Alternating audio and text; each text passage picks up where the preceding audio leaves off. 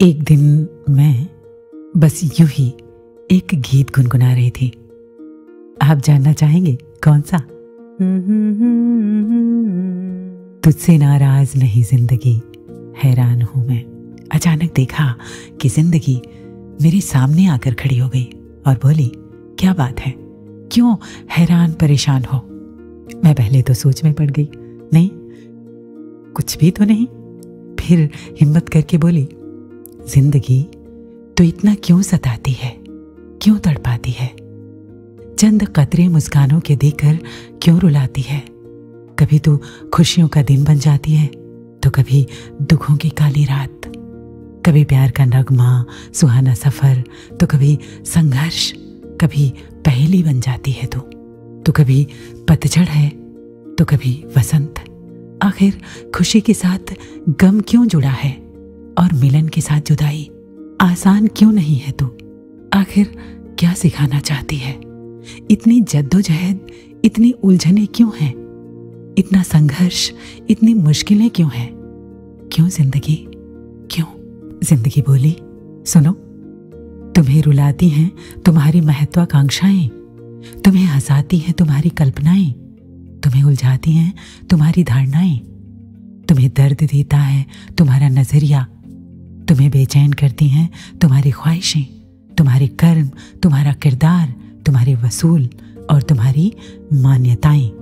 दर्द हो या खुशी, तुम्हारी ही तमन्नाओं का हिस्सा है, तुम्हारी मुश्किलें, तुम्हारी ही मान्यताओं का नतीजा है। कल के तुम्हारे कर्म, आज तुम्हारी किस्मत हैं।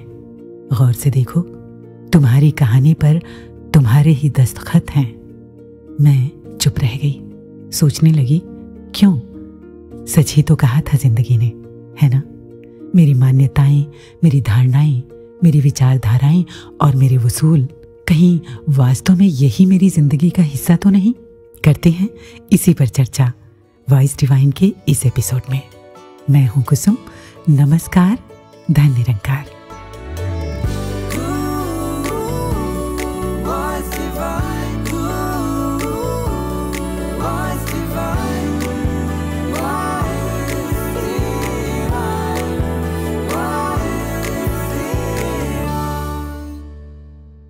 किसी ने कहा है कि जैसी चाहो लिख लो, कहानी अपनी, खाली पन्नों से भरी किताब है ज़िंदगी। लेकिन हाँ लिखने से पहले अच्छी तरह से सोच लेना, फिर मिटने वाला नहीं है। किसी ने यह भी कहा है कि बिना इरेजर के ड्राइंग बनाने की कला है ज़िंदगी। जो मैंने अपने विश्वास, अपनी मान्यताओं, आदतों, वसूलों और कर्मों से एक बार लिख लिया ना, वही मेरा सच है। इसलिए ये ज़रूरी है कि ज़िंदगी में किसी भी विश्वास, मान्यता या धारणा को बनाने से पहले सौ बार सोचा जाए, क्योंकि मान्यताएँ हमारी ज़िंदगी में बहुत गहराई तक हमारी जड़ों तक उतरती हैं। और हाँ ये ज़रूरी नहीं, जो मैंने माना है, वही ठीक हो, वही सच हो, वो गलत भी हो सकता है। इसलिए इतनी गुंजाइश रखें कि उसे समय पर और हालात के बदलाव के साथ बदला जा सके। अंडमान की एक जनजाति के बारे में पढ़ रही थी। बहुत सी अजीबो गरीब मान्यताएँ हैं उनकी। ये लोग अभी भी सदियों पुरानी सभ्यता में जी रहे हैं। उन्हें नहीं पता कि दुनिया कितनी बदल गई है। इन्हें electricity TV mobile phones internet हवाई जहाज़ क्या होता है, नहीं पता। ये लोग बाहरी दुनिया से कोई संपर्क ही नहीं रखना चाहते। और तो और, अगर उनके किसी बच्चे का रंग उनके रंग से मैच नहीं करता ना तो वे उसे मार देते हैं। ये उनके लिए बहुत सहज है। जबकि हम और आप कहेंगे, अरे, ऐसा कैसे कर सकते हैं ये लोग? जी हाँ ऐसा ही करते हैं। और वे बदलना भी नहीं चाहते। उनकी मान्यताओं की जड़ें इतनी गहरी हैं कि वे उसे किसी कीमत पर नहीं छोड़ना चाहते। और हाँ वहाँ जाना मना है। जाने की तो सोचिएगा भी मत, क्योंकि अमेरिका के जॉन एलिन शाओ किसी तरह वहाँ पहुँच गए थे। लेकिन वो ज़िंदा नहीं बचे। जो उन्हें बदलने या उनसे मिलने की कोशिश करता है, वे उसे मार देते हैं। बहुत अजीब रीति रिवाज और मान्यताएँ हैं उनकी, जिनका वो शिद्दत से पालन करते हैं। हमें और आपको ऐसा लग सकता है कि उनकी मान्यताएँ या धारणाएँ गलत हैं। उन्हें नहीं लगता। अब आप सोचेंगे कि वॉइस डिवाइन में इस बार क्या मैं यही सब बताने आई हूँ? जी नहीं, मैं दरअसल ये कहना चाहती हूँ कि ऐसा सिर्फ़ किसी खास जनजाति के लोग ही नहीं कर रहे, बल्कि हम भी ऐसा कर रहे हैं। जी हाँ हम भी कर रहे हैं। हम उन्हें दूर से देख रहे हैं ना? इसीलिए हमें अजीब लगता है। अगर हम खुद को भी दूर से या किसी और की नज़रों से देखेंगे ना तो हमें लगेगा कि हम भी बहुत सारी ऐसी धारणाओं और मान्यताओं में जकड़े हुए हैं, जो बहुत अजीब हैं। सोचने की बात है ना? चलिए, सोच विचार करते हैं पावन अवतार बाली के इस शब्द के साथ।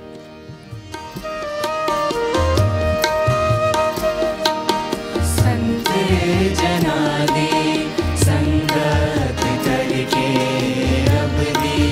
सोच विचार।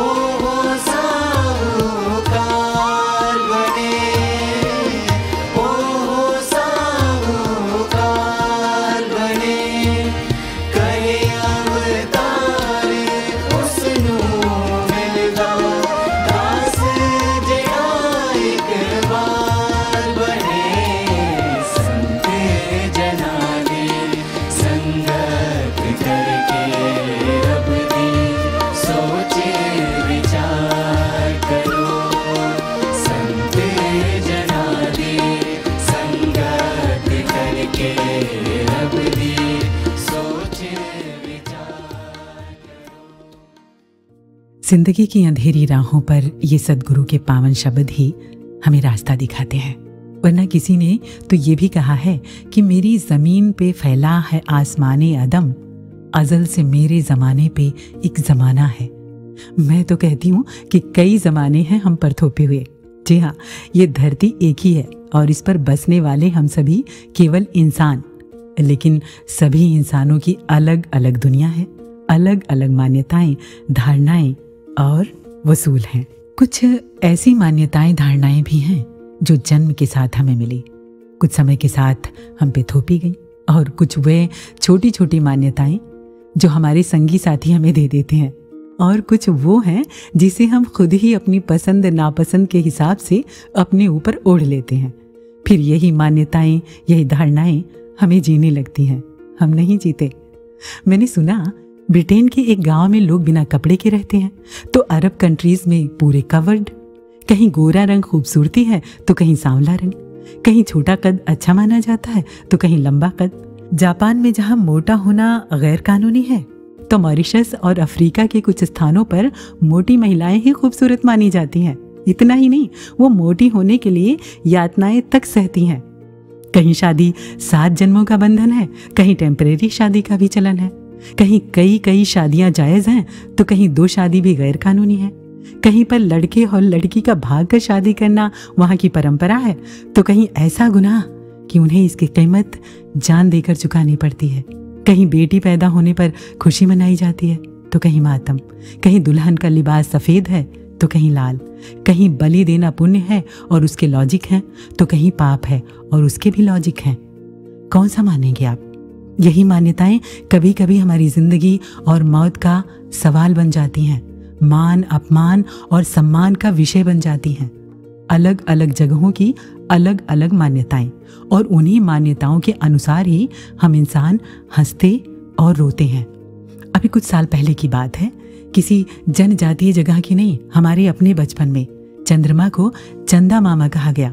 हमने मान लिया। आज चंदा मामा एक उपग्रह है, यानी सैटेलाइट आज बच्चों से कहकर देखें कि चंदा मामा है, नहीं कह सकते ना? कुछ साल पहले यूपी के गाँवों में चिकन पॉक्स को कोई बीमारी नहीं, बल्कि बड़ी माता, छोटी माता का प्रकोप माना जाता था।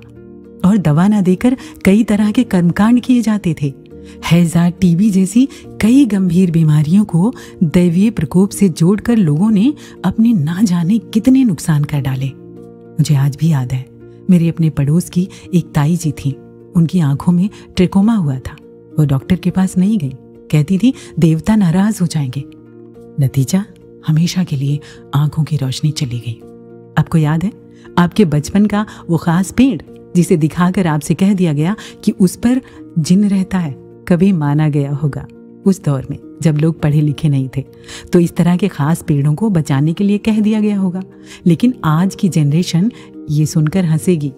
ऐसी बहुत सी निराधार मान्यताएँ थीं और आज भी हैं, लेकिन आज उसका पता हमें नहीं चल रहा। कमाल की बात तो ये है कि जो लोग मानते थे या मानते हैं, उन्हें ये नहीं लगता कि ये कोई मान्यता है। उन्हें तो लगता है कि ऐसे ही जीना है। वो शायर का शेर है ना, अपनी हालात का खुद एहसास नहीं है मुझको। मैंने औरों से सुना है कि परेशान हूँ मैं। इसी तरह से अलग अलग स्थानों पर इस धरती के रीति रिवाज और परंपराएँ हम कौन सी मानेंगे और किसे गलत कहेंगे? सबके अपने अपने लॉजिक्स हैं। किसी विशेष परिस्थिति में, किसी हालात या किसी मजबूरी में उपजी कोई धारणा आदत बन जाती है। आदत से फिर मान्यता और फिर परंपरा, कर्मकांड। वैसे एक बात कहूँ, मान्यताएँ अगर मान्यताएँ ही रहें तो अच्छा है। लेकिन जब ये दुख, दर्द, लड़ाई और भेदभाव की वजह बन जाती हैं तो देश, समाज और पूरी धरती ही दूषित हो जाती है। तो गलत, मैं सही, बस इसी बात पर लोग मरने मारने पर उदारू हो जाते हैं। एक सोच बना ली है कि मेरी मान्यता, मेरी ही धारणा सही है। मैं ये नहीं कह रही कि ये मान्यताएँ, ये धारणाएँ, ये वसूल गलत हैं या इन्हें मानना गलत है। गलत, पता क्या है? गलत तो वो है, जब हम जजमेंटल होकर लड़ने लग जाते हैं कि साहब, हम तो सही हैं और हम ही सही हैं। दूसरा, गलत। अब जैसे मैं जिस रास्ते से रोज घर जाती हूँ, मैं मान लूँ कि बस वही एक रास्ता है, दूसरा तो है ही नहीं। कोई और किसी और रास्ते से जाता है, वो ये मान ले कि बस वही एक रास्ता है, वही सही है। बाकी तो सब झूठ बोल रहे हैं। नहीं, रास्ते और भी हैं। जी हाँ। किसी ने कहा है कि तू शाहीन है, परवाज है काम तेरा। तेरे सामने आसमां और भी हैं। इसी रोज़ो शब में उलझ के ना रह जा कि तेरे ज़मीनों मकान और भी हैं। मान्यताएँ तो हमारी ज़िंदगी को आसान बनाने और हालातों से लड़ने के लिए बनाई गई थी। अब जब ज़िंदगी ही मुश्किल बन जाए तो ऐसे में उन सभी चीज़ों को अपने से दूर कर देना चाहिए, जो एक दूसरे को जोड़ने नहीं, तोड़ने की वजह बने। बाबा हरदेव सिंह जी महाराज ने कहा था कि अपने से वो सब कुछ दूर कर दो जो तुम्हें दूसरों से दूर कर रहा है इसी भाव को लिए आइए आगे बढ़ते हैं और सुनते हैं एक गीत तक जे डोले आनी उपकार ਹੈ ਤੇਰਾ ਹੁਣ ਤੱਕ ਜੇ ਡੋਲਿਆ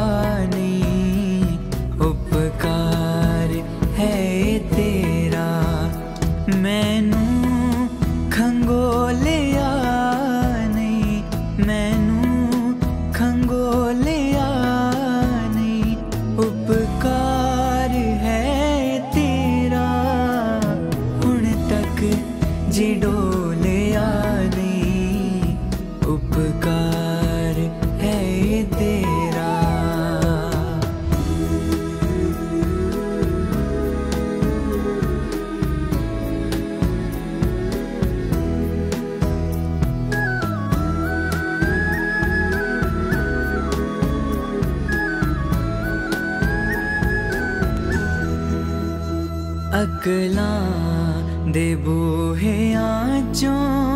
कई बार तेनू लंगाया।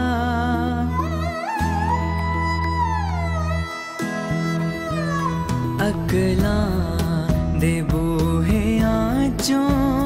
कई बार तेनू लंगाया। तू जवाब सी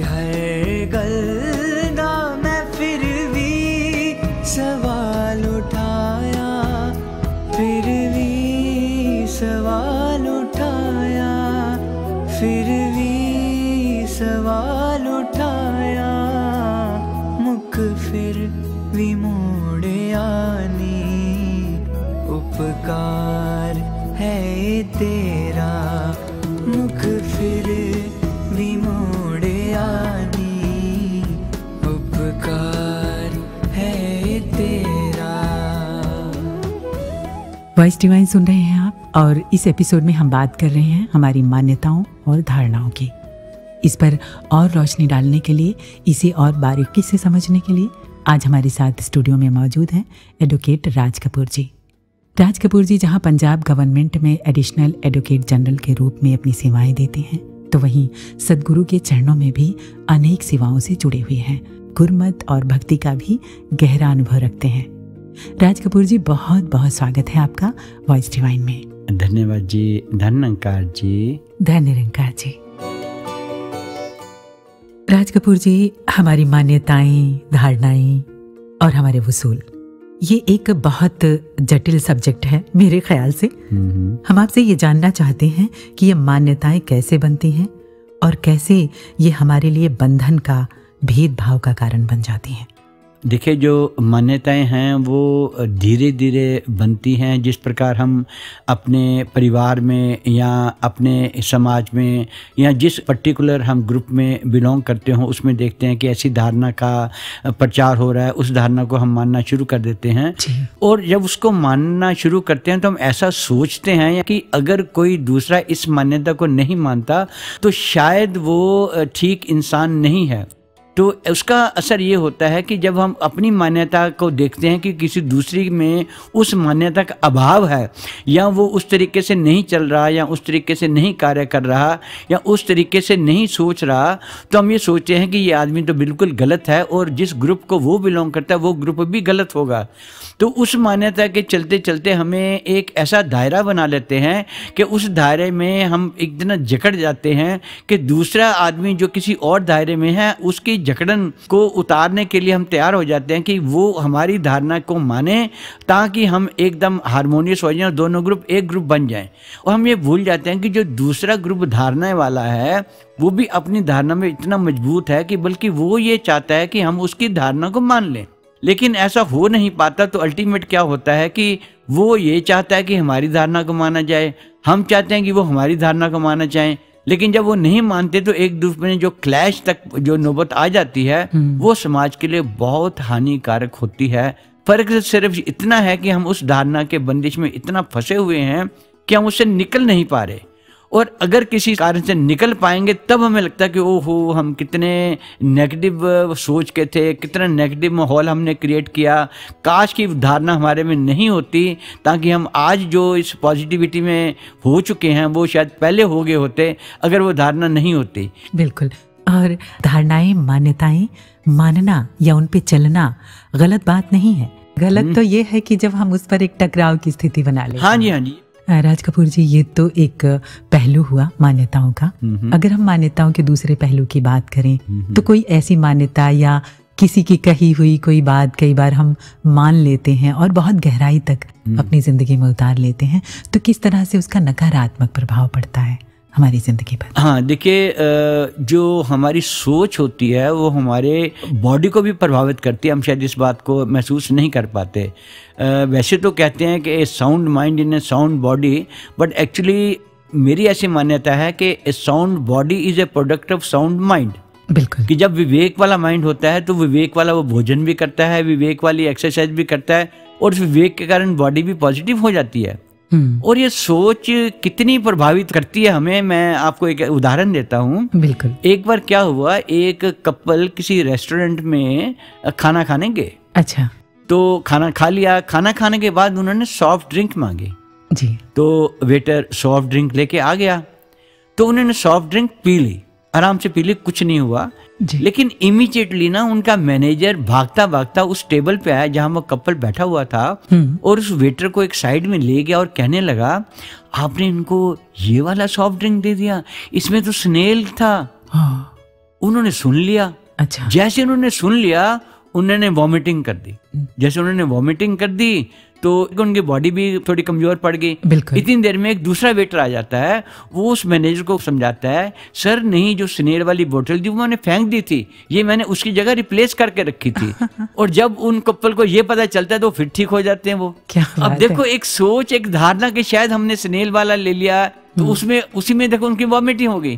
और जब ये पता लगा कि नहीं वो स्नेल वाली बोतल तो कोई और थी ये तो हमें उन्हें ठीक बोतल दी वो ठीक हो गए। यानी उस मान्यता के आधार पे देखो कितना हमारा जो जिसम है वो प्रभावित हो जाता है। सच में ऐसे ही मैंने एक खबर पढ़ी कहीं किसी कोर्ट में किसी कैदी को सजाए मौत सुनाई गई और ऐसा आदेश में कहा गया कि उसे फांसी नहीं बल्कि सांप के जहर से मौत दी जाएगी। तो तय समय पर उसके शरीर में पीछे से दो पिन चुभोई गई। तो उस कैदी की मृत्यु हो गई पिन चुभोने से। और उसकी बॉडी के पोस्टमार्टम में आया कि उसकी मौत सांप के जहर से हुई है। यानी उसने पिन को तो देखा नहीं, मान लिया कि सांप से कटाया गया है। और उसकी बॉडी ने वो सांप का जहर पैदा कर लिया।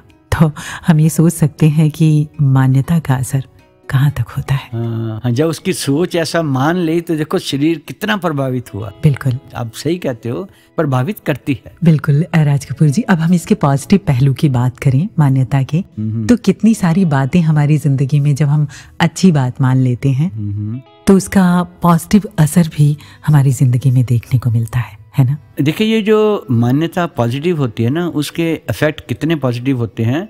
मैं एक उदाहरण देना चाहूँगा। हाँ जो। बात असल में हुई दास एक बार हरिद्वार की तरफ़ गया वहाँ पे एक सज्जन ये बात बता रहे थे। कहने लगे कि मैं एक बार बीमार पड़ गया बहुत ज़्यादा। अच्छा। हॉस्पिटल में एडमिट भी हो गया। और कुछ दिनों के बाद हॉस्पिटल वालों ने इलाज भी किया लेकिन ये कह दिया कि अब हम पूरा इलाज कर चुके आप ठीक नहीं हो पा रहे। अब और जितना आप ठहरोगे आपका बिल तो बढ़ता जाएगा लेकिन आप ठीक नहीं हो पाओगे तो बेहतर कि आप उनके परिवार को बताया कि आप इसको घर ले जाओ। अच्छा। वो उसको फिर घर लेके आ गए तो क्या हुआ? उस दिन शाम को आस पड़ोस में जैसे लोग पूछने आते हैं तो एक हमारे महापुरुष जो सेवा दल में थे वो भी वहाँ पे उनकी सेहत के बारे में पूछने गए। जी। और जब ये पता लगा कि डॉक्टर्स ने तो कह दिया कि अब ठीक नहीं हो पाएगा अब उसके बाद उन्होंने उनको ये कहा भाई साहब आप एक काम करो आप चरणामृत का सेवन करो और हमारे साथ सिमरन करो और मेरी आस्था है कि आप ठीक हो जाओगे। अच्छा। अब दवाइयाँ जो खा रही हो तो खाते रहो उसमें कोई चेंज नहीं। लेकिन मेरे साथ आप सुमिरन करो और ये चरणामृत पियो। वो महापुरुष उनको चरणामृत भी पिलाया और सिमरन भी करवाया निरंकार का। तो ये सिलसिला एक हफ़्ते चलता गया। और उसके बाद उनकी बॉडी पॉजिटिव होने लगी बॉडी में एनर्जी आनी शुरू हो गई। दवाइयाँ तो वो ही खा रहे थे जो पहले भी खा रहे थे। अच्छा। लेकिन ये मान्यता उसकी कि जब ये मेरा एक मित्र ये कह रहा है तो मैं इसको मान के देखता हूँ। और उन्होंने उसको माना। जब उन्होंने मान लिया तो उनकी बॉडी में एनर्जी आनी शुरू हो गई। वही दवाइयाँ जो पहले खा रही थी अब असर करना शुरू कर दिया। और उसके बाद देखो ये बात उन्होंने बाद में संगत में आगे बताई यानी कि इतने ठीक हो गए। जी हाँ बिल्कुल। यहाँ पर सोचने वाली बात ये है कि उन्होंने जिनको असर हुआ। उन्होंने कितनी गहराई तक उस बात को माना था और उतारा था। देखिए इस तरीके से हम देखेंगे मान्यता के हमने नेगेटिव इफेक्ट्स भी देखे जी। उनके पॉजिटिव इफेक्ट्स भी देखे। हम्म। एक बात जो समझने वाली है ना हमारी जो भी मान्यताएँ होती हैं वो लॉजिक के बेस्ड हों और पॉजिटिव हों तो वो हमेशा जागरूक भी करती हैं और हमें ही नहीं हमारे समाज को भी पॉजिटिव करती हैं। बिल्कुल। राज कपूर जी आप अपना कीमती समय निकालकर वॉइस डिवाइन में आई और हमारे सुनने वालों से इतनी बेशकीमती बातें साझा की। इसके लिए आपका बहुत बहुत आभार बहुत बहुत शुक्रिया। धन्यकार धन्यकार जी। और अब एक गीत तो बनता है ना? जो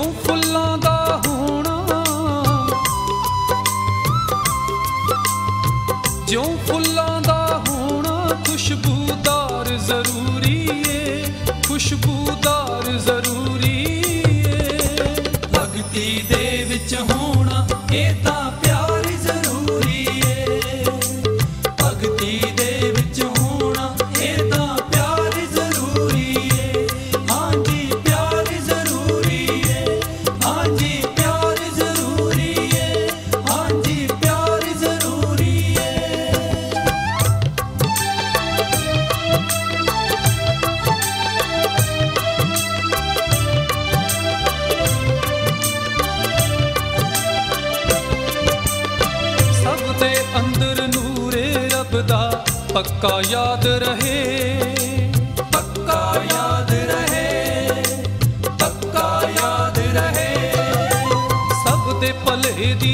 ਬੁੱਲਾਂ ਤੇ ਹਰਦਮ ਫਰਿਆਦ ਰਹੇ।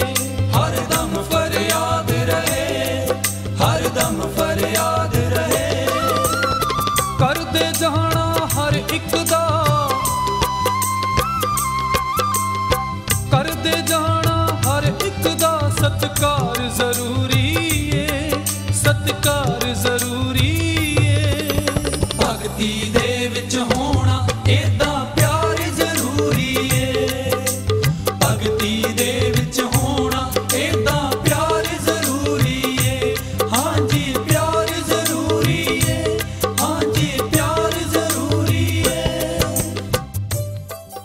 हाँ प्यार ज़रूरी है और ये प्यार की मान्यता ही है जो हमेशा से एक जैसी रही है और हमेशा मानने लायक भी रही है।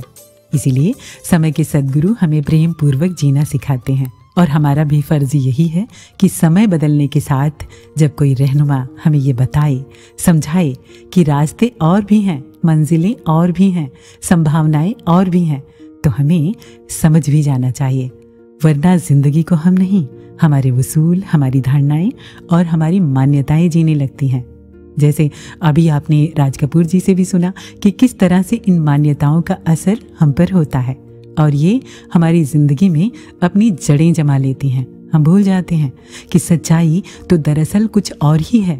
अभी चंद रोज पहले सदगुरु माता जी ने अपने प्रवचनों में उस बच्चे का उदाहरण दिया जो ये मान लेता है कि उसके पेट में चूहा चला गया है। और फिर उसके साइड इफ़ेक्ट भी होते हैं। जी हाँ दर्द होता है। और जब उसकी माँ सुबह उसे नकली चूहा दिखाकर कहती है कि चूहा अब पेट से निकल गया, तब उसे आराम मिलता है। इसी तरह बहुत सारी बेफजूल की धारणाएँ चूहा बनकर हमारे दिमाग में चली गई हैं। और कमाल की बात तो ये है कि हमें पता ही नहीं चल रहा। मुश्किल तो तब होती है जब इन धारणाओं में पढ़कर हम अपनी पहचान तक भूल जाते हैं। नब्बे के दशक में दूरदर्शन पर आने वाले सीरियल जंगल बुक का वो बच्चा, मोंगली, याद है ना? जो जंगल में रहकर भूल गया था कि वो एक इंसान है। अभी हाल ही में एक कॉमेडी सीरियल में देख रही थी कि कुछ लड़कों को किसी ने कहा कि तुम मेरे पालतू पशु हो। और वो कई दिनों से फिर उसी तरह की हरकतें कर रहे थे। एक दिन जब वो मालिक घर पर नहीं था तो उसमें से कहने लगा कि काश हम इस बंधन से आज़ाद हो सकते। तभी अचानक उनमें से एक को ख्याल आया कि हम तो पशु हैं ही नहीं। हमारे गले में पट्टा ज़रूर बंधा है, लेकिन हाथ तो आज़ाद हैं। हम इसे खोल सकते हैं। बच्चों के एक कार्टून सीरियल में दिखाया जा रहा था कि एक बच्चा कुछ बंदरों से गिर जाता है। साथ में उसका पेट डॉग है। बच्चा बंदरों से डरा हुआ है और उसका वो डॉग भी डर से काँप रहा है।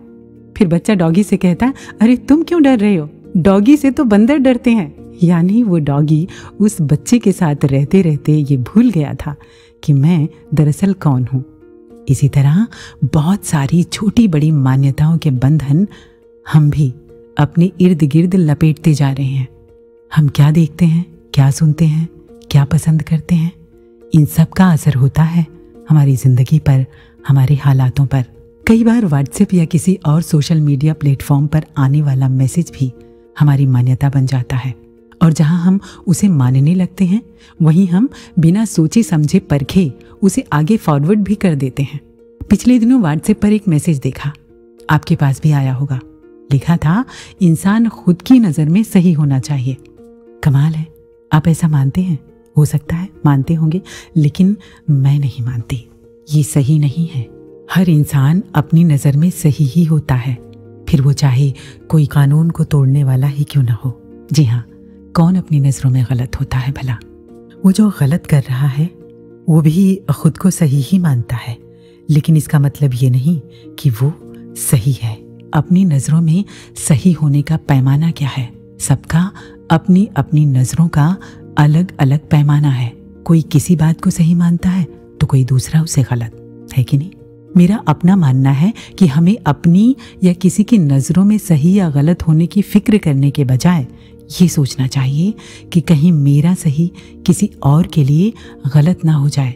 माना कि हम सभी की नज़रों में अच्छे नहीं हो सकते लेकिन जो हमारे सदगुरु हमें बताते हैं उस पर तो हमें चलने की कोशिश करनी चाहिए ना। इसी संकल्प के साथ आइए जुड़ते हैं आदरणीय अवनीश दुग्गल जी के अनुभव से। If you obsess over whether you are making the right decision, you are basically assuming that the universe will reward you for one thing and punish you for another. The universe has no fixed agenda. Once you make any decision, it works around it. There is no right or wrong, only a series of possibilities that shift with each thought, feeling, and action that you experience. ये पंक्तियां जब मैंने पढ़ी मैं सोच में पड़ गया कि कहीं ऐसा हमारी ज़िंदगी में तो नहीं होता। हम भी कभी ज़िंदगी में ऐसे मोड़ पर खड़े होते हैं, जहाँ दो रास्ते होते हैं, और कोई एक रास्ता चुनना एक उलझन सी लगती है। और मन में एक डर आता है कि कहीं मैं वो रास्ता ना चुन लूँ कि मुझे बाद में पछतावा हो। अब जैसे गूगल मैप्स को ही ले लीजिए। किसी जगह पर पहुँचने के लिए जब हम डायरेक्शंस को फॉलो करते हैं, और अगर गलती से कोई टर्न मिस हो जाए तो वो अपने आप डायरेक्शंस को री रूट करके हमें मंजिल तक पहुँचा देता है। इसी तरह, जब हम खुद को निरंकार के भरोसे छोड़ देते हैं तो ये हमारे लिए एक नया रास्ता बना देता है। रास्ता कौन सा चुना, क्या फैसला किया, इस सारे प्रोसेस में यह समझना बहुत ज़रूरी है कि एक डिसीज़न फ्रेश अपॉर्चुनिटीज़ या ये कहें कि बहुत सारे नए आयाम भी खोलता है। और साथ ही I would like to state that it has to be an informed decision making process परमात्मा की दी हुई बुद्धि और चेतनता का इस्तेमाल करना बहुत ज़रूरी है। और इसका एक और पहलू भी है। ज़रूरी नहीं नए डिसीजंस किसी मजबूरी में या किसी परेशानी के समय में ही लिए जाएँ। बहुत बार हमें अपने कंफर्ट जोन से बाहर निकलकर भी ज़िंदगी को और बेहतर बनाने के लिए कुछ नया ट्राई करना या एक्सप्लोर करना बहुत ज़रूरी है। जैसे एक पंछी अपने घोंसले में सुरक्षित तो है, पर इसका अर्थ ये नहीं कि वो कभी उड़े ही ना। उसे परमात्मा ने दो पंख और खुला आसमां, ऊँची उड़ान भरने के लिए ही दिया है। ठीक ऐसे ही इस असीमित परमात्मा में भी ना जाने कितनी असीमित संभावनाएँ हमारा इंतज़ार कर रही हैं। तो trust the process and let life unfold क्योंकि सितारों से आगे जहाँ और भी हैं। ਐ ਬਖਸ਼ਣ ਹਾਰੇ ਸਭ ਨੂੰ ਸੁਖ ਦੀ ਦਾਤ ਬਖਸ਼ ਦੇ ਐ ਬਖਸ਼ਣ ਹਾਰੇ ਸਭ ਨੂੰ ਸੁਖ ਦੀ ਦਾਤ ਬਖਸ਼ ਦੇ ਸਭ ਹੱਸਦੇ, ਵਸਦੇ ਰਹਿਣ, ਐਸੇ ਹਾਲਾਤ ਬਖਸ਼ ਦੇ ਸਭ ਹੱਸਦੇ, ਵਸਦੇ ਰਹਿਣ, ਐਸੇ ਹਾਲਾਤ ਬਖਸ਼ ਦੇ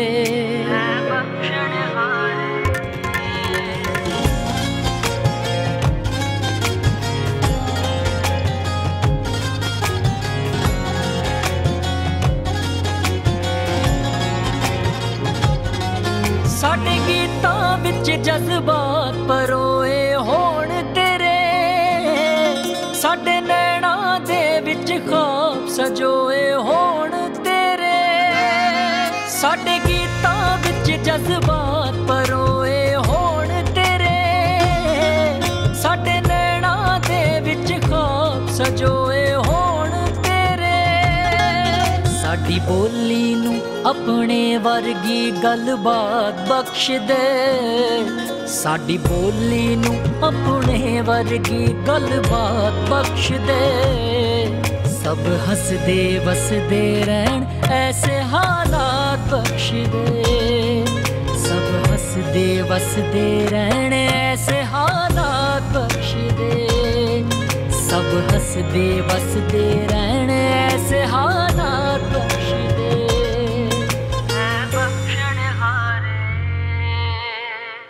मान्यताओं का ही एक और पहलू। आइए सुनते हैं सविता जी के अनुभव में। ये ज़िंदगी जो बहुत कमाल की है, इसका हर पल, हर रोज अपने साथ कितने सारे नए अवसर, नए मौके, कई सीख, कई महसूसियत और ढेर सारे अनुभव लेकर आता है। फिर चाहे वो किसी परिस्थिति के रूप में हो, कोई इंसान हो कोई घटना हो, ये सुंदर प्रकृति हो, किसी किताब में लिखी कुछ पंक्तियाँ हो, इंस्टा की कोई पोस्ट हो, या आजकल बहुत प्रचलित ओ टी टी प्लेटफॉर्म का कोई प्रोग्राम हो, हमें कुछ ना कुछ सिखाता ज़रूर है, जो हमारे सबकॉन्शियस माइंड में स्टोर होता जाता है। और उनमें से कई चीज़ों का तो बहुत बार हमारे दिल और दिमाग पर इतना स्ट्रॉन्ग इम्पैक्ट पड़ता है कि कई कई दिन हम उन्हीं चीज़ों के बारे में सोचते रह जाते हैं, डूब जाते हैं।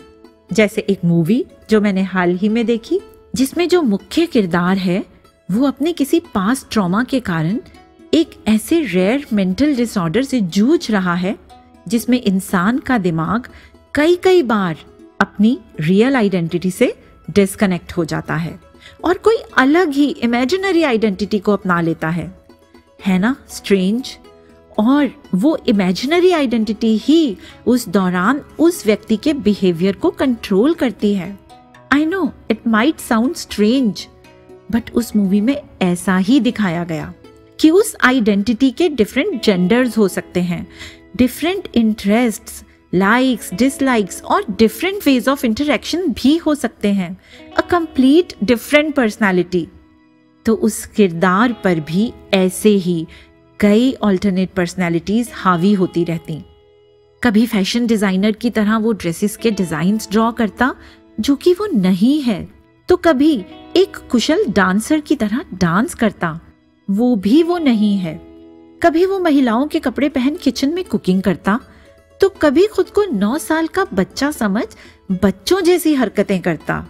कभी टीनेजर तो कभी एक इतिहासकार बनकर हिस्टोरिकल इवेंट्स के फैक्ट्स बताता और हैरान कर देने वाली बात ये कि उसी एक इंसान का, हर पर्सनैलिटी बदलने के साथ ही बात करने का लहजा, उसके हाव भाव काम करने का ढंग, यहाँ तक कि बॉडी लैंग्वेज भी बदल जाती An individual with multiple personalities could change his body chemistry with his thoughts. और दुख की बात बहुत कम ही वो अपनी रियल आइडेंटिटी में रह पाता। और एक दिन उसके दिमाग ने अपनी सबसे ताकतवर पर्सनैलिटी को खुद पर हावी कर लिया, जो एक बीस्ट की है, जो कभी भी खुद को या किसी और को नुकसान पहुँचा सकती है। कहानी बहुत लंबी है और समय कम।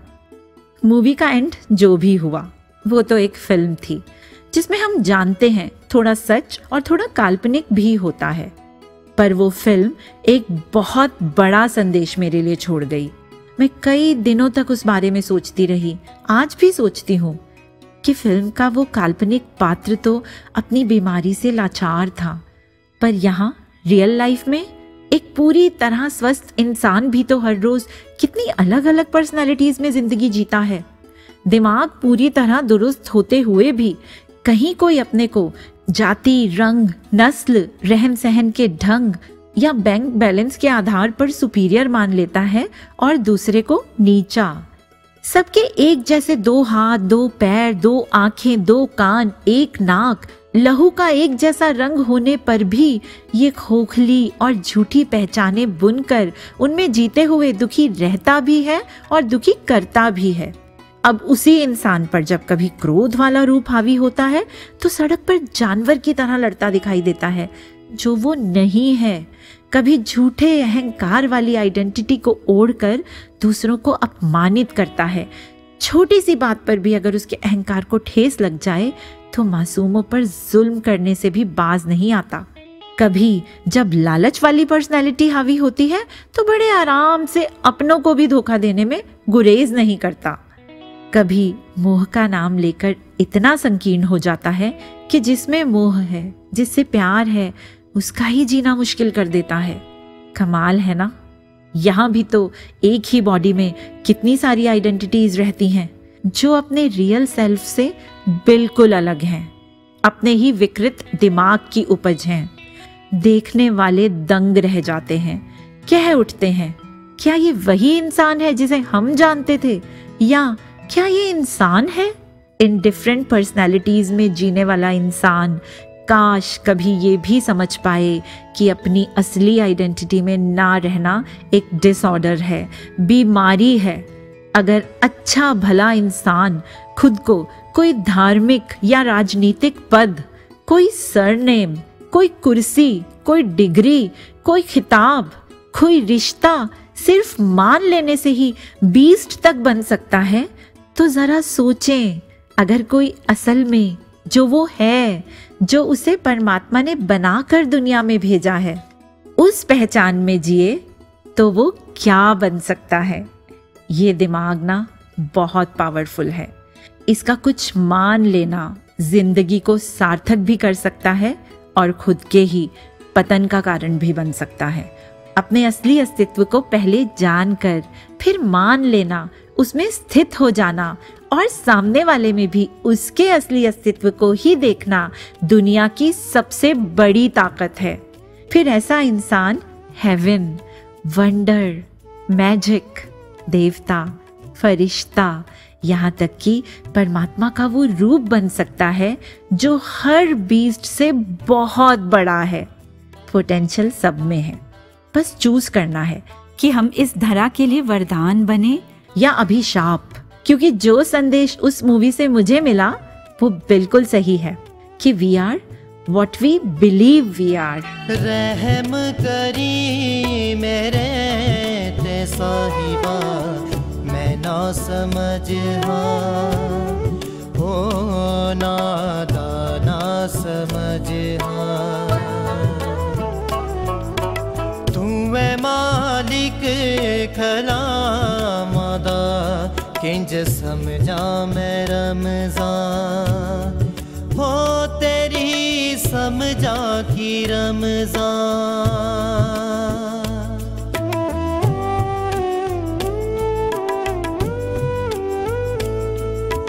ज़िंदगी मेरी ऐसा दी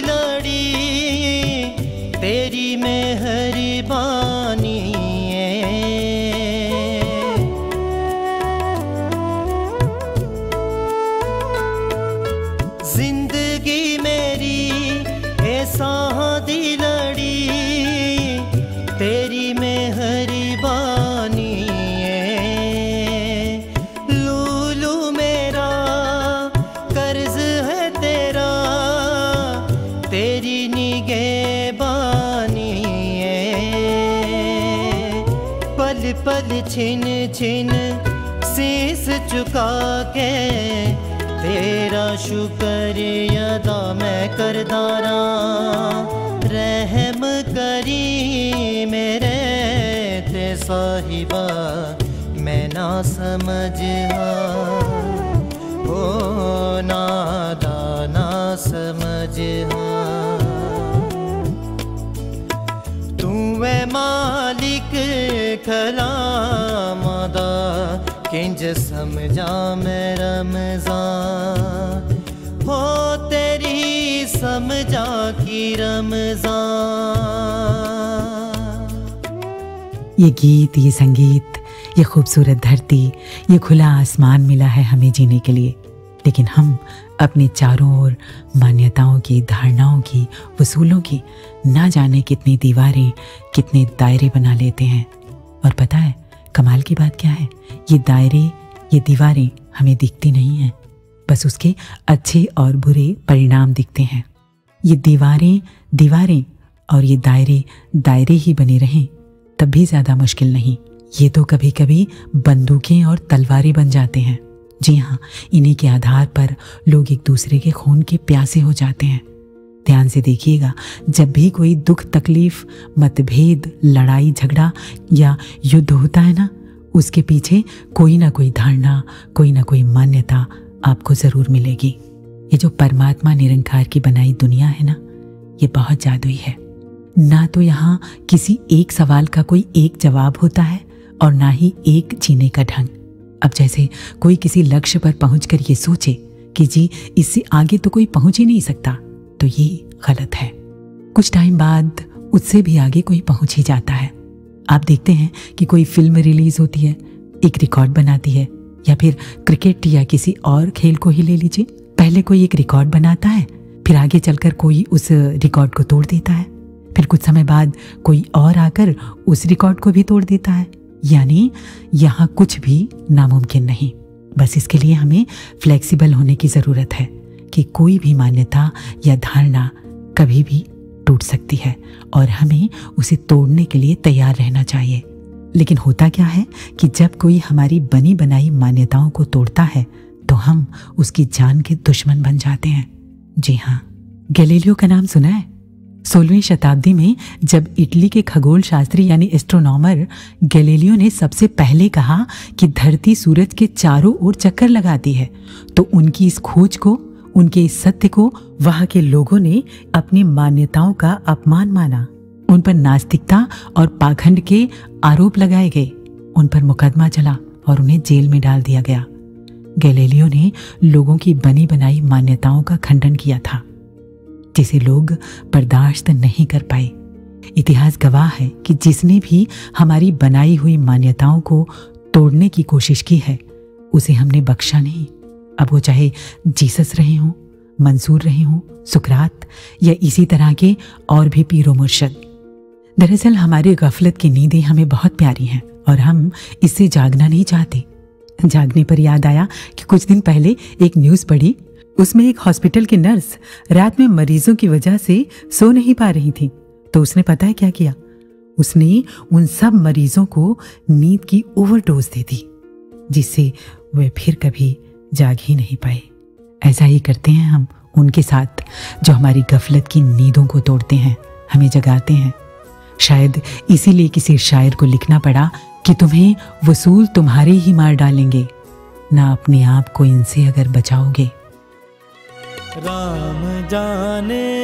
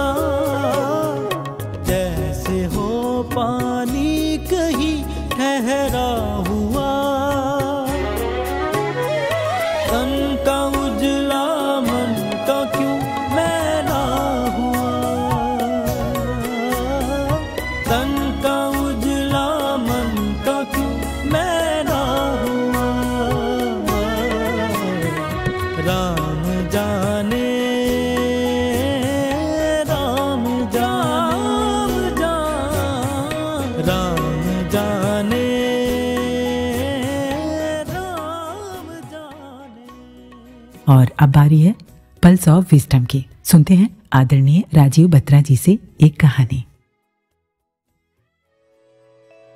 अपनी सोच से जैसा भाव हम अपने मन में बैठा लेते हैं, वही हमारी मान्यता बन जाती है। अब किसी व्यक्ति या स्थिति के बारे में जैसी हमारी मान्यता होती है, उसी से हमारा अकॉर्डिंगली व्यवहार निर्धारित होता है। उदाहरण से इस बात को समझते हैं। जैसे कि मान लीजिए किसी व्यक्ति के प्रति हमारी धारणा या मान्यता अच्छी नहीं है तो उस व्यक्ति से या तो हम दूरी बना लेते हैं या उसे हम अपना दुश्मन तक मान लेते हैं। इसी तरह किसी काम के प्रति हम शुरू से ही नकारात्मक रवैया अपनाएँगे तो उस काम को पूरा करने में सिर्फ़ और सिर्फ़ दिक्कत ही आएगी। वहीं दूसरी ओर यदि किसी काम के प्रति प्रारंभ से ही हमारे मन में ये विश्वास हो कि ये काम करना मुश्किल नहीं तो यकीनन उस काम को हम अपने मन की धारणा, यानी मान्यता के बूते पर आसानी से कर पाते हैं। कहने का सार ये है कि हमारे द्वारा बनाई मान्यताएँ ही हमारे भावी कार्यक्रमों को संचालित करती हैं। इसी भावबोध के रहते कहीं पड़ी एक कहानी मुझे याद हो आई। किसी समय एक राज्य के राजा को सूचना मिली कि उसका एक शत्रु देश बहुत बड़े सैन्य दल के साथ उस पर आक्रमण करने को तैयार है। यह सूचना मिलते ही उस राजा ने फ़ौरन अपने सेनापति और पूरे मंत्रिमंडल की एक बैठक बुलाई। शत्रु देश का राजा बहुत ही शक्तिशाली था। इस बात से राजा बहुत चिंतित था। लेकिन राजा से ज़्यादा उसका सेनापति ज़्यादा डरा हुआ था। क्योंकि सेनापति शत्रु राजा के सैन्य बल और शस्त्र भंडार की ताकत को अच्छी तरह जानता था और वो जानता था कि यदि युद्ध हुआ तो हमारी हार निश्चित है। और ऐसा माना गया, ये युद्ध लड़ना तो आत्महत्या करने के समान है। तभी उस राज्य के एक संत राजा से मिलने आए। उन्होंने राजा से विनती की कि यदि राजन अनुमति दें तो वे सेनापति के रूप में सेना को साथ लेकर वो संत युद्ध लड़ने जा सकते हैं। राजा को यह सुनकर बहुत अचंभा हुआ कि एक संत जिसने कभी तीर तलवार को हाथ नहीं लगाया हो, वो युद्ध भूमि में आखिर कैसे लड़ सकता है? लेकिन राजा के पास कोई चारा भी तो नहीं था, सो राजा ने उस संत को अनुमति दे दी। सेना के काफिले के साथ युद्ध भूमि की ओर बढ़ते संत एक मंदिर के सामने रुके। उन्होंने अपने सैनिकों से कहा कि क्यों ना मंदिर में जाकर भगवान का आशीर्वाद लिया जाए। मंदिर पहुंचकर संत ने कहा, अब क्यों ना भगवान की मर्ज़ी भी जान ली जाए कि हमारी हार होगी या जीत। इस पर किसी ने पूछा कि ईश्वर की मर्ज़ी क्या है? इसका हमें कैसे पता चलेगा? इस पर उस संत ने हवा में एक सिक्का उछालते हुए कहा कि अगर चित आया तो जीत और अगर पट आया तो हार। यही ईश्वर की मर्ज़ी है। अब सब सांस रोके हुए उस सिक्के को देख रहे थे। और जब सिक्का चित गिरा तो सभी सैनिकों में खुशी की लहर आ गई। संत ने कहा कि अब हमारी जीत पक्की है। यही ईश्वर की मर्ज़ी है। यह देखकर पूरी सेना मानो जोश से भर चुकी थी और विजयी भाव के विश्वास को मन में धारण करते हुए रणभूमि की ओर प्रचंड वेग से आगे बढ़ती है। और आखिरकार उनकी ही जीत होती है। विजय प्राप्त करने के पश्चात जब वे फिर से उसी मंदिर के पास से गुजरे तो संत वहाँ रुके और बोले कि क्यों ना परमात्मा का आभार व्यक्त कर लिया जाए। सैनिक खुश थे और उनका मानना था कि ईश्वर की मर्ज़ी ने ही उन्हें जीत हासिल करवाई थी। इस पर संत ने कहा कि नहीं, ये जीत आप ही के बुलंद हौसलों का नतीजा है। ये कहते हुए संत ने वो सिक्का सभी सैनिकों को दिखाया, जिसके दोनों तरफ़ चित्त का ही चिन्ह था। सो कहने का भाव यह है कि जीत या हार को लेकर किसी भी काम की सफलता या असफलता को लेकर जब हमारी सोच, हमारी मान्यता बदलती है तो उसका परिणाम भी बदलता है।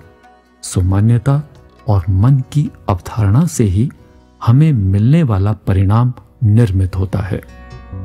सतगुर दी सोच लैके सोचा शिंगार लइए। सतगुर दी सोच लैके सोचा शिंगार लइए। दुनिया ही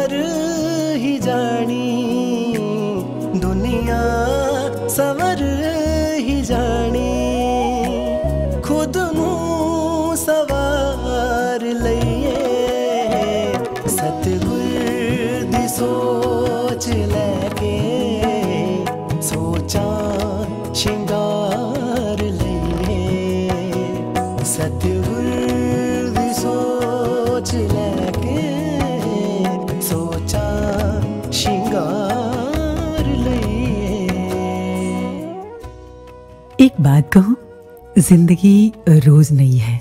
जी हाँ हम जब से अपनी मान्यताएँ ढो रहे हैं ना, तब से दुनिया बहुत बदल चुकी है। अभी वॉइस डिवाइन के पिछले एपिसोड में आपने अतुल जी और कमल जी से टेक्नोलॉजी के बारे में कितना कुछ सुना। दुनिया कहाँ से कहाँ पहुँच रही है। ज़िंदगी रोज नए मौके, नई संभावनाएँ लेकर आ रही है। किसी शायर ने क्या खूब लिखा है? अपना जमाना आप बनाते हैं, अहले दिल। हम वो नहीं कि जिनको जमाना बना गया। आज की बदली हुई परिस्थिति और ज़िंदगी कुछ और चाहती है और हम जिए किसी और तरह से जाते हैं। अब जैसे सर्दी के मौसम में हम सर्दी के कपड़े पहनते हैं और जब मौसम बदल जाए, गर्मी आ जाए तो भी हम सर्दी के ही कपड़ों से खुद को कवर किए रहें। तो क्या हमें चैन आएगा? होना तो ये चाहिए कि जब मौसम बदल जाए, परिस्थितियाँ बदल जाए तो ओढ़ी हुई मान्यताओं को भी त्याग देना चाहिए। एक और बात, हार हो जाती है जब मान लिया जाता है। जीत होती है जब ठान लिया जाता है। जी हाँ जिस तरह से धरती में जब कोई बीज डाला जाता है ना तो ये धरती हवाएँ, घटाएँ, सूरज की किरणें ये पूरी की पूरी प्रकृति, ये पूरी की पूरी कायनात उसे नरिश करती है, उसे पोषित करती है। इसी प्रकार जब हम किसी पॉजिटिव या नेगेटिव थॉट का बीज अपने दिल या दिमाग में डालते हैं तो उसे भी बढ़ाने और पोषित करने में भी पूरी की पूरी प्रकृति लग जाती है। इसलिए भी बहुत सोच समझकर किसी धारणा या मान्यता के बीज बोएँ। एक बात और अगर हमारी जड़ों में ये उतर जाती है ना तो फिर इसे तोड़ पाना बहुत मुश्किल होता है। क्योंकि कोई चीज़ जितनी सूक्ष्म होती है ना, उसे अपने से दूर कर पाना उतना ही मुश्किल होता है।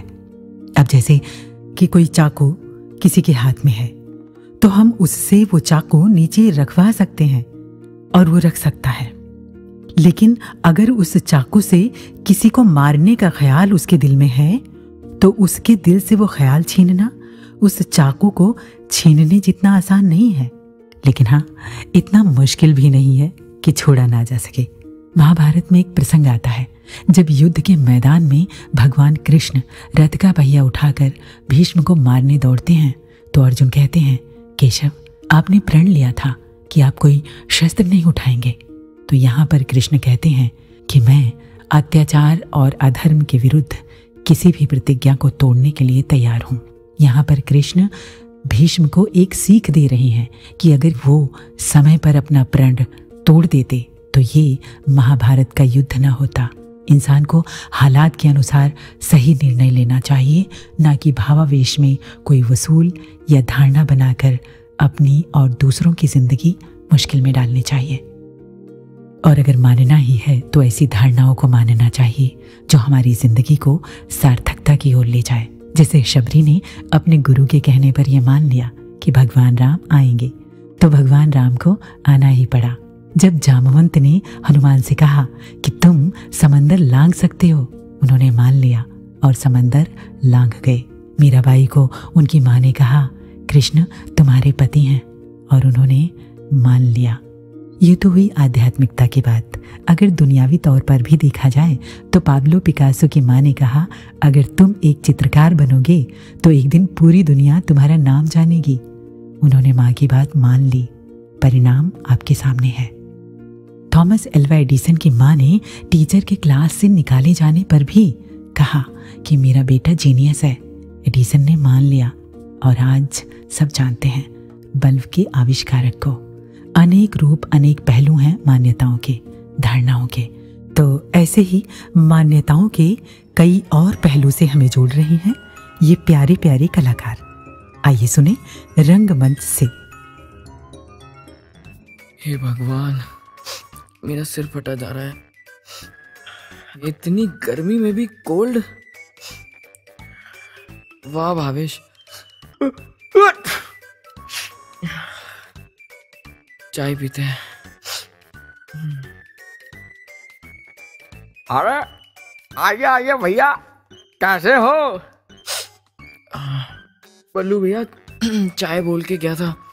तैयार है? आप बोले थे हम लगा दिए लीजिए। ओह मज़ा आ गया।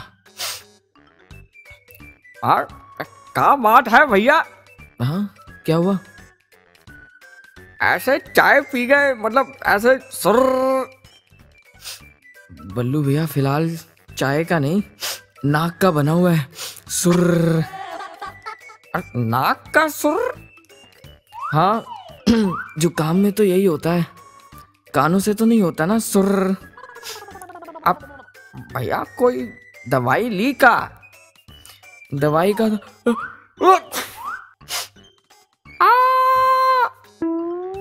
अरे क्या हुआ हे गज्जू ए कितनी बार बोले तुमको संभाल के चलो गिर गए ना हमारा कांच वाला मर्तबान तोड़ दिया एक तो टाइम से नहीं आते ऊपर से बैठ के टिक टाक मनाते हो फिर काम पे ध्यान नहीं देते नुकसान करा दिया अरे भैया हे भगवान वापस भैया तुम बताओ क्या कह रहे थे कुछ नहीं आप देखो उसे लगी तो नहीं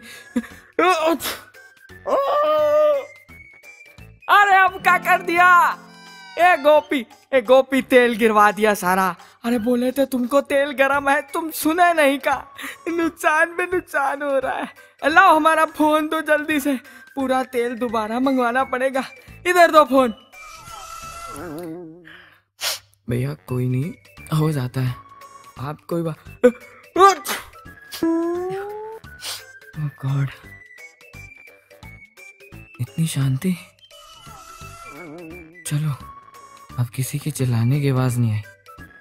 अरे बल्लू भैया आपको क्या हुआ? नीचे क्यों बैठे हो? फ़ोन से पैसे भेज रहे थे।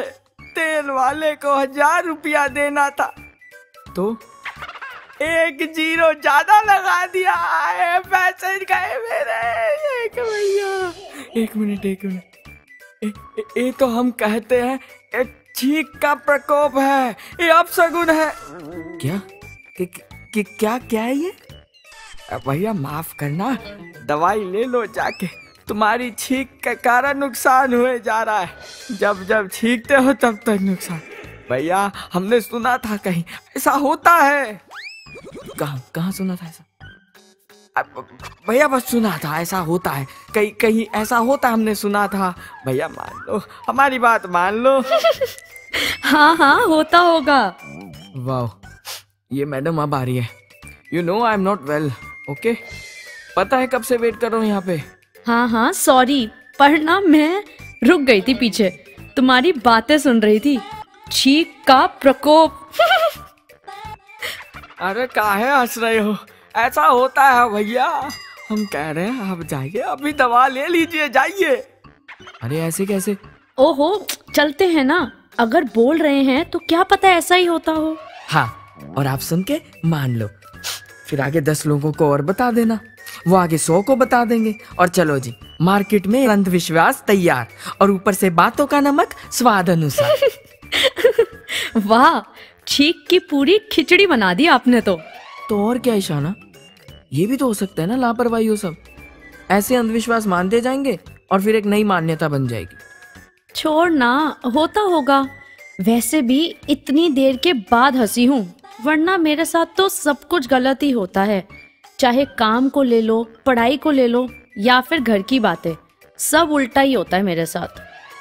Yes because you yourself are accepting it and allowing the same most welcome हाँ हाँ हाँ it's not funny yes it is not funny I mean हम लोग अच्छी बातों को अपनाने से ज़्यादा ऐसी बातों पर जल्दी ध्यान देते हैं और उन्हें अपना लेते हैं।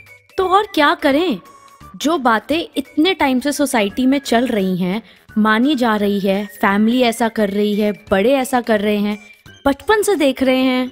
और इसलिए तुम पूछ भी नहीं सकते कि हम ऐसा क्यों करते हैं क्यों फॉलो करते हैं। अब इतने टाइम से सब कर रहे हैं तो होता होगा ना कुछ ना कुछ। बस चलने दो। वही तो। हर बात पे कह दो कि चलने दो। और हमारे बिहेवियर्स थॉट्स सब ऐसे ही हो जाते हैं शाना। आदत पड़ जाती है। जैसे अब आपने ये सोच लिया सब गलत ही होता है तो बस अच्छा होने की उम्मीद ही छोड़ दी। तो क्या करें? ना माने लोगों की बातें। बात मानने की नहीं बात समझने की है। मतलब? मैं ना एक बार ऐसे ही किसी रिलेटिव्स के घर गया था। तो वहाँ पे मैंने अपने नाखून काट लिए। तो मेरी चाची मुझे बोलने लग गई अरे ये क्या कर रहे हो बेटा? ऐसे नहीं होता। ऐसे नाखून काटने से घर पे लड़ाई होती है। अच्छा फिर क्या हुआ? फिर क्या था? मैं गया अपने दादाजी के पास। तो उन्होंने ना मुझे बहुत प्यारा सा किस्सा सुनाया। ओ पुत्र क्या हो गया? ओ तू बैठ इधर। ओ बेटे मैं ना तुझे एक बात बताता हूँ। हमारा ना पुराना गाँव होता था। ओ, वहाँ पे क्या हुआ कि एक बार शादी हो रही थी। एक बिल्ली का बच्चा आ गया। वो बिल्ली का जो बच्चा था, वो कदे पैरा थल्ले, कदे कुर्सी थल्ले। वो पुत्र उसको फाड़ के ना बड़ों ने एक टोकरी के अंदर डाल दिया। अब वो डालने के बाद जो था कि निकाल देंगे उसको। शादी हो जाए अच्छे से। वो एक बच्ची ने उसको देख लिया। अब वो बच्ची बड़ी हुई, जब उसका ब्याह हुआ, शादी हुई तो स्पेशली पुत्र एक बिल्ली का बच्चा मंगवाया गया और टोकरी के नीचे रखवाया गया। क्यों? दादाजी, ऐसा क्यों? पुत्र पूछा नहीं ना कभी। बस मान लिया कि शायद ऐसा करने से शुभ होता होगा। पुत्र शुभ अशुभ है क्या? इसलिए मैं कहता हूँ, बात मानने की नहीं। बात जानने की है। और जब जो हुआ होगा, उसका कारण रहा होगा। और हम अक्सर सुनी सुनाई बातें मान के उम्रें बिता देते हैं जी। अब नाखून है। रहा होगा उस टाइम। बिजली नहीं होगी, कटर नहीं होंगे। तो किसी धातु से हाथ गलत ना कट जाए, इसलिए बोला होगा। इसलिए पुत्र, मैं फिर कहता हूँ, बात मानने से पहले जाननी ज़रूरी होती है। हम्म तेरे दादाजी ने तो सही बताया। आई I मीन mean, मैं सोच में पड़ गई। हम्म good for you at least अब ये छींक का प्रकोप तेरे ऊपर नहीं आएगा। हाँ हाँ। और ना मुझे भी बार बार आई थिंक कंप्लेंट कर देना बंद कर देना चाहिए। इतना घुटन सा फील हो रहा था। मतलब डर सा बना लिया था मैंने अपने अंदर। अच्छा अच्छा सोचो। रीजन दो खुद को भी और उन्हें समझो। ये सब बहुत ज़रूरी है लाइफ में कि हम जो भी करें उसे सिर्फ़ मानकर नहीं जानकर करें। सही कहा। ओ गॉड क्या हुआ? चीख का प्रकोप! मुझे तो भूख लग रही है। अब कुछ खाना पड़ेगा। आ, चल चल। नौटंकी कहीं सूफी फकीर रूमी ने कहा कि आप उड़ने के लिए पैदा हुए हैं। जीवन भर रेंगना क्यों चाहते हैं? बहुत सारी संभावनाएँ हैं हमारे पास। परमात्मा होने के लिए पैदा हुए हैं हम। किसी प्रकार की मान्यताओं, धारणाओं, उसूलों या जिद के लिए ये ज़िंदगी बहुत छोटी है। बाबा जी ने बार बार कहा कि एक उम्र भी कम है मोहब्बत के लिए। तो चलो, इस उम्र को बिताया नहीं, जिया जाए। शैलेंद्र के शब्दों में कहूँ तो तू ज़िंदा है तो ज़िंदगी की जीत में यकीन कर। अगर कहीं है स्वर्ग तो उतार ला ज़मीन पर। हमारे कारवां का मंजिलों को इंतज़ार है। ये आंधियों, ये बिजलियों की पीठ पर सवार है। जिधर पड़ेंगे ये कदम, बनेगी एक नई डगर। तो ज़िंदा है तो ज़िंदगी की जीत में यकीन कर। इसी संकल्प के साथ आइए, दिव्य गुणों की ओर चलें, असीम अनंत की ओर चलें। जहाँ झूठी और खोखली मान्यताएँ ना हों, जहाँ प्रेम का, मिलवर्तन का, श्रद्धा, भक्ति का खुला आसमान हो। हम अपने मुर्शद की वो मान्यताएँ अपनाएँ, जो नफरत की नहीं, प्रेम की वजह बने, तोड़ने की नहीं, जोड़ने की वजह बने, एक दूसरे को गिराने की नहीं, उठाने की वजह बने, किसी के दुख दर्द की नहीं, खुशियों की वजह बने। आइए मिलकर निरंकार सदगुरु के चरणों में ये गुजारिश करें। कि आप हमें वो समझ बख्शें कि हम मान पाएँ कि इस समस्त कायनात में इस निरंकार परमात्मा के सिवा कुछ भी महत्वपूर्ण नहीं। इसी प्रार्थना के साथ जुड़ते हैं सदगुरु संदेश से और इजाज़त दीजिए कुसुम को। नमस्कार, धन निरंकार। कैसे भ्रमों की भी बात अगर करी जाए तो ये ब्रह्म ज्ञान तो सारे भ्रम तोड़ता है। एक संसार में हम तो पल पल में भ्रम बना लेते हैं। कोई पुराने समय में अगर कोई चीज़ उस समय वैलिड हो, उस समय वो चीज़ उस तरह हो, उस चीज़ का पर आज अगर कोई मायने नहीं और उसको फिर भी करते जाना तो ये तो कहीं की समझदारी नहीं होगी। जैसे अगर आज बिजली आ गई है घरों में तो आज तो हमें एक स्विच जलाना है। हमारे पंखे भी चलेंगे, हमारी लाइट भी चलेगी।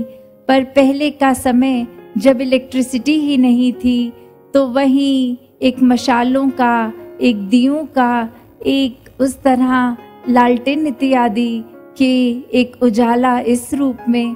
पर आज अगर घर में लाइट है तो भी हम कहें, नहीं, वो पुरातन समय का ही ठीक है। एक होते हुए भी प्रयोग ना करें तो वो तो समझदारी नहीं है।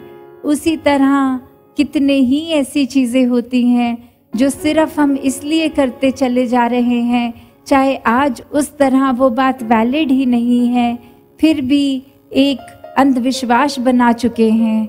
एक जहाँ भक्ति में बात यही होती है कि पहले परमात्मा को देखो, फिर परमात्मा पे विश्वास करो। और यहाँ ये बुद्धि, एक जो अंधविश्वासी बुद्धि होती है, वो तो फिर कोई एक ना लॉजिक देखेगी, ना कुछ। ये जो शब्द अंधविश्वास होता है अंधा विश्वास और यहाँ तो परमात्मा के दर्शन, एक खुली आँखों से करने वाली बात, एक चेतनता की बात तो क्या एक किस तरह अपने जीवन में विश्वास और अंधविश्वास इसके बीच में जो वो फाइन लाइन है, उसको कैसे, उस रेखा को कि इस तरफ़ पूर्ण विश्वास और इस तरफ़ अंधविश्वास तो कहाँ, किस तरह, किस पल, किस तरह जीना है, ये ब्रह्म ज्ञान तो हर एक के हिस्से में आ गया तो कैसे ये चेतनता को भी अब अपनाया जाए, इस चेतनता के साथ हर पल जिया जाए